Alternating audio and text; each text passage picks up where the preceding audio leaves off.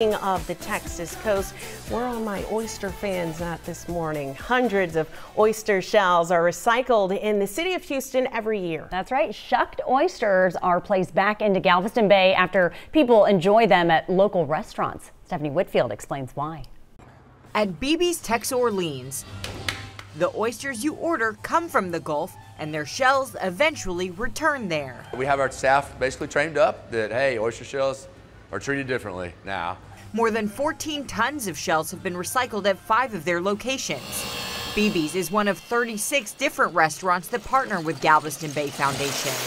These oyster shells, if we don't collect them, they're just going to go to a landfill and be wasted. So why not collect these shells and bring them back to the bay to create this new oyster habitat? Haley Layhawk with Galveston Bay Foundation says shells are picked up all over the Houston area on a weekly basis. The shucked oyster shells are brought to this facility. There are more than 200 tons of oyster shells here. That's just one pile. There's more than twice that amount in all. The shells sit here in quarantine for at least six months, then they're placed back in the bay. Eric's got number three. Leha explains baby oysters then attach to the recycled shells. It helps them survive and grow. They're absolutely doing their job, serving as a valuable ecosystem, also protecting shorelines, and they're actually filtering the water for us. Every single one of these oysters that makes it to an adult size will filter about 50 gallons of water in a day. She says if they collect more shells, they can restore more of the bay.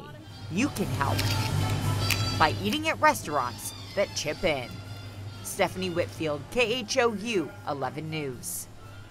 All right, Stephanie, thank you. We do have a list of all 36 restaurants that have partnered with the Galveston Bay Foundation right now for you on KHOU.com.